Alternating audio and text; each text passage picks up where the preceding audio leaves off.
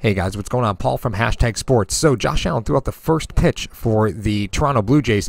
Let's go ahead and take a look at that and a brief history of the failures of the past.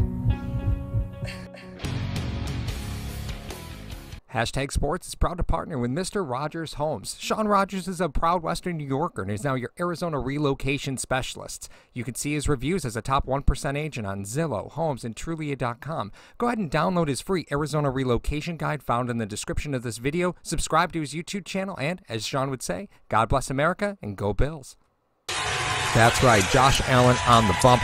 But let's just take it back a little bit and see some of our history. Ah, yes. Thanks to uh, 23-6 Sports on YouTube for this.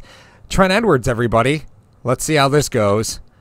All right. Guys, I'm going to be honest. It's pretty brutal. And yeah, that's where that ball ended up. Uh, there was no running back over there, so I'm not sure why he threw it there. Uh, come on, guys. You know you got to like, comment, and subscribe as we break down Josh Allen's uh, first pitch for the Toronto Blue Jays. But we do have just a couple more to review. This is the other Josh Allen, uh, drafted the year after our Josh Allen. And now, mind you, he was in front of the hill, so he does make it to home plate, but they cut off quite a bit of distance. And of course, there's everybody's favorite Sean, Sean McDermott, making sure to take care of uh, the fans in the back and there's just a there's a lot going on here. So let's look at this. Slow we, we have the benefit of the camera in the back. It looks pretty good here but you'll notice right it, uh, right about there. Uh, if you're paying attention to the jumbotron behind him he's he's just crazy open uh, throws it like a cornerback uh, but we'll get into some more in-depth breakdown for Josh here. We see him warming up in the parking lot uh, of Sahlen's Field. Of course, thank you to Sahlen's Field and the Toronto Blue Jays for having an ambulance so close to the franchise of the Buffalo Bills. Uh, he's going to dab up just a completely random uh, Toronto Blue Jays player. Uh, thanks to Dan for catching this clip over at Sahlen's Field. Much appreciated. And again, Josh is just no problems catching the ball, no problems throwing the ball, just getting loose and I, jeez, I didn't even notice that the first time. Hits the guy in the knee. I don't know who he's playing catch with. Hits guy in the knee uh, with his warm up pitch, and then he's going to come in and uh, and kind of talk about you know the expectations, where he's going to be, how it's going to go. Listen, it's got to be nerve wracking going out there. I understand he plays in front of thousands and thousands of people, but it's got to be a little nerve wracking. And there is Josh playing a little bit more catch. We we snagged this from Built in Buffalo. So again, thanks to those guys. Find them on Facebook, find them on YouTube. And these are two franchise players having a hug. That is Vlad Guerrero Jr. Talk about the future of both sports there between Josh and uh, uh, in football and, and Vlad and baseball. Vlad is, is really something special. This one's from Livingston County News. Let's take a look at how the pitch went before we get into it. And yeah, we got some stuff to talk about. Um, so, first off, I want to congratulate Josh Allen.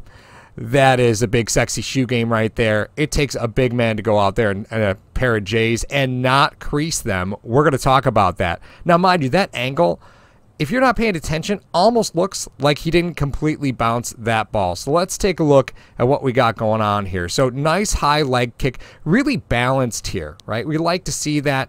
Hand separation is a little late.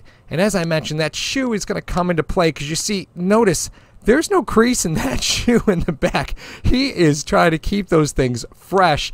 And uh, again, he's got those big chest muscles, doesn't really use uh, his core to throw the ball there uh, like a like a standard MLB pitcher would. So let's just take a little bit more of a look at, at what Josh is going on here. Again, nice, really solid balance point. Josh hasn't played baseball in years, so you can't really be too critical. But nice, solid balance point here. You're going to see as his leg starts coming forward, his arm break is a little late, which is going to make his upper body uh, a bit late too. He's also looks like he's ready to leg drive, but you'll just see he's really vertical, right? He keeps that front side close. He pushes the heel towards the catcher. Everything looks good here, except he is a, a little bit late uh, with uh, with breaking the hands. Uh, so his arm's going to drag behind a little bit.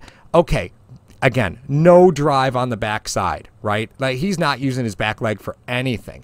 Foot's down, it's pointed relatively towards the catcher. That's fine. Normally, an MLB pitcher is, is closed just a little bit, and there is just open city, man. He never gets those shoulders closed at release, and you know that that weight he just never uses his lower body he's just so damn strong though that he's got no problem delivering a pitch and that leg kick in the back is really just for effect uh, he did that uh, just because he knows he's supposed to. Uh, he didn't have enough leg drive to really get a good leg kick there. Um, is super vertical, super tall in a pocket that works great. And then you got to hit the Batman, right? You got to hide, got to go hide in the bat cave after bouncing a ball 54 feet. Uh, on uh, you know when the Blue Jays are playing the Yankees, you you got to go hide.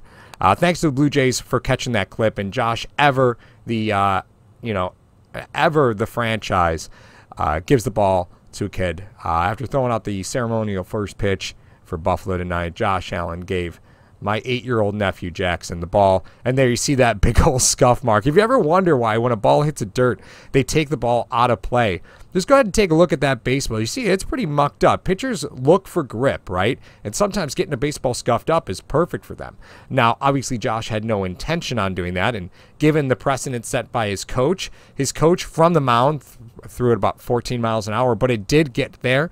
Uh, Josh Allen, the other Josh Allen, was in front of the mound, but it did get there. He does, uh, however, make a better effort than Trent Edwards, which I think is a nightmare none of us need to relive.